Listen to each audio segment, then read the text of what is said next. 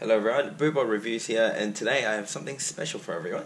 Um, looking at the items here, you might have already guessed, but we're taking apart the Puma 1-1 in FGAG in kangaroo leather variation. Now, the reason that this came to be is when I got these boots, I took them out for the first half of the test, and the the outside stitching where the leather meets the midfoot, which is just there, I'm not sure if you can see. Um, the lighting's quite bad, but you can see that that little part started to come off, um, and and obviously it's uh, very small. But um, as soon as I noticed it, I contacted the store that I purchased the boots from, and they requested that I cut these up, uh, send them the pictures in order to get like a refund or a trade, um, rather than sending the boots back, which would have set me back quite a bit of money uh, because of the international shipping fees. Um, anyways some of you guys may wonder why the bizarre request. Um, I might be wrong, but I know some brands, when they find a defect in their product, rather than sending them back to the brand, they ask the store, the retailer, to just simply dispose of them uh, by cutting them up. I know this because I've had some friends that worked at um, sports retail stores. Uh, my guess is Puma, or at least Puma in that country of the shop that I bought this from, has the same policy where the store must dispose of the product. Um, also, for those of you who are worried about this, this is not a um, known defect. They've confirmed it. Um, it's just a one-time thing with my boot, unfortunately. Um, so please don't let that discourage you from buying the Puma 1-1. I'm actually going to request a, a new boot uh, of the same model. Maybe not the same colorway. I would think they're out of my size, but, but yeah, I'll be reviewing these again um, just to see what they're like. Um, anyways, that's it for the backstory of this video. I thought um, if I'm going to cut it up, might as well make a video out of it. So okay, without any further ado, let's get straight into the cutting action. Right guys, so here I have the boot unlaced, so we're going to start with this boot. Um, the idea is I'm going to try to take apart the, the um, outsole from the upper along that line here and then we're going to try to get into um, try to get the upper into three pieces. The Evo um, collar slash tongue. And then the the synthetic midsole slash heel area. And then finally the leather.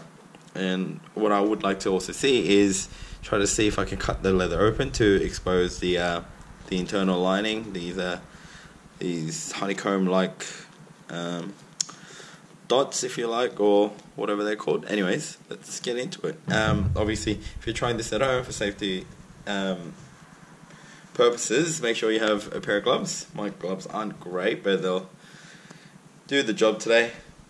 Anyways, let's get in. All right.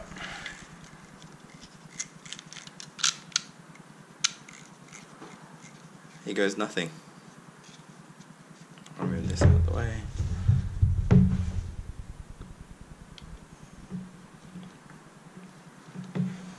actually quite stiff.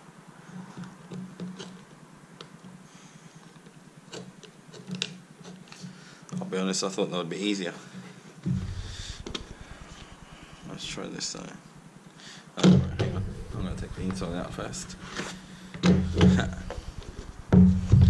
Alright, let's take that again.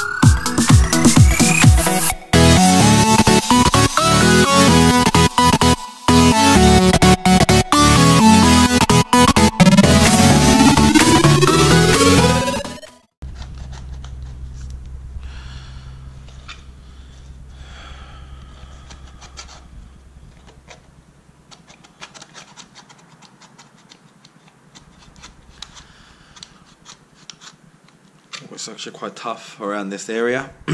Excuse me, where they have the uh, the extra um, coating because this is technically FGAG. Um, so it does get quite tough around this area.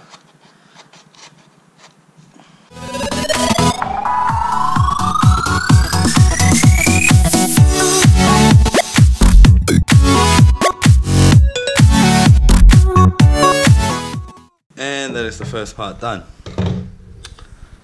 Uh, here's a look at the upper. Alright, um, something interesting, excuse me, as a extra cushioning for the hill, I've got a, I'm not sure if you can see that, oops, I've got like a foam in there supporting, um, really nice suede as a liner. So as I said, what we're going to do now is we're going to see if we can cut along the stitching of the leather, just around there, and then also cut the Evo knit sock. Alright, there's a look at the inside of the sole plate, pretty cool. Alright, I'm going to use the scissors for this one. So just along there.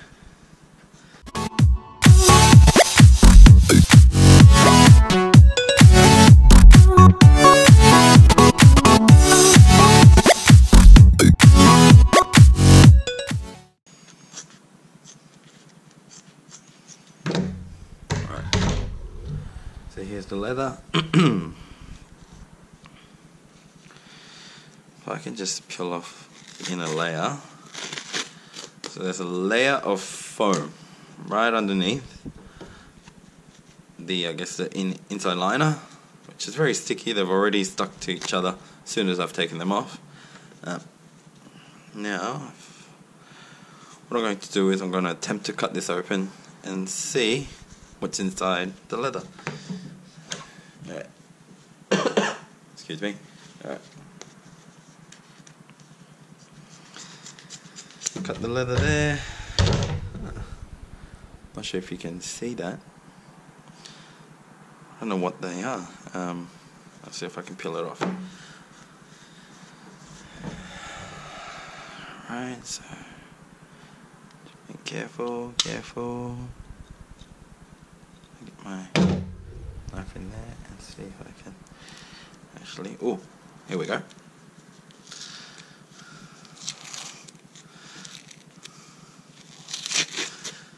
Alright, so that's the leather off, and this is what gives the uh, excuse me the the leather its uh, its structure.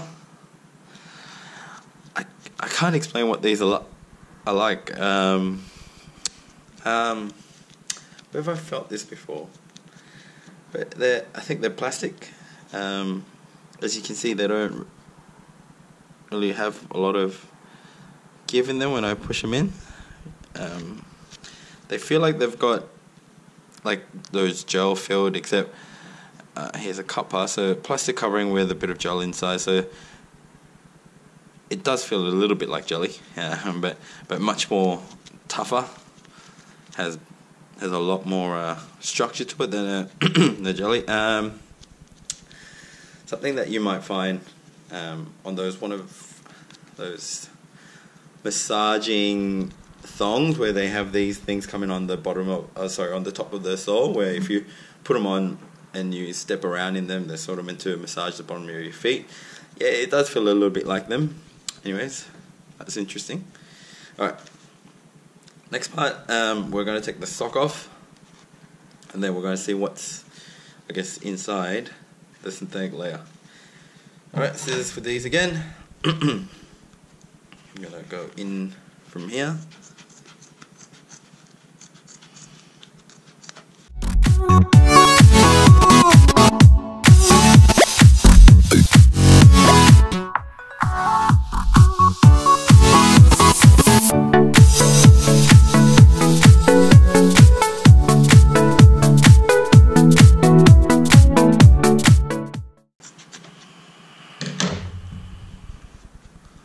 as a tongue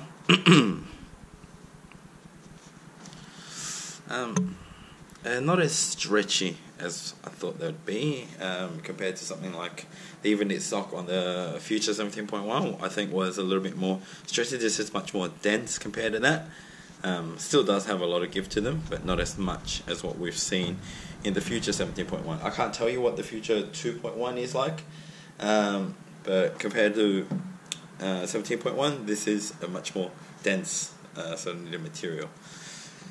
Alright guys, so here it is, the Puma 1-1 in the K leather variation, cut to four major pieces. You've got the kangaroo leather upper, uh, the forefoot there, the midfoot, the synthetic midfoot, the Evo tongue, and of course the sole plate. Um, that was actually very, very interesting for me. Interesting to find out what's underneath the boots, uh, what goes inside the boots. Um, I hope you found it interesting as well. If you did, please give my video a like. Uh, leave a comment down below on your thoughts on today's video.